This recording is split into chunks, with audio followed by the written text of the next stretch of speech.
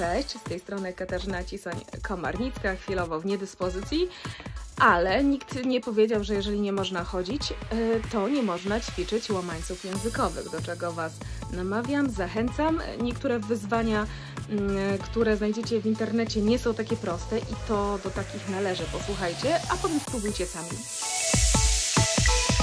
Wyindywidualizowana, wyimaginowana, wyrewolwerowana i już nie rozentuzjazmowana Marianna Konstantynopolitanczyk-Brzęczyszczykiewiczówna wyindywidualizowała się z wyrewolwerowanego, wyimaginowanego i rozentuzjazmowanego tłumu Konstantynopolitanczyk-Brzęczyszczykiewiczównych, które zostały wyrewolwerowane przez wyimaginowanego, wyindywidualizowanego, rozentuzjazmowanego i wyrewolwerowanego rewolwerowca w krainie wyindywidualizowanych, rozentuzjazmowanych, wyimaginowanych rewolwerowców przy użyciu wyindywidualizowanego, wyimaginowanego, rozentuzjazmowanego, wyrewolwerowanego rewolwera.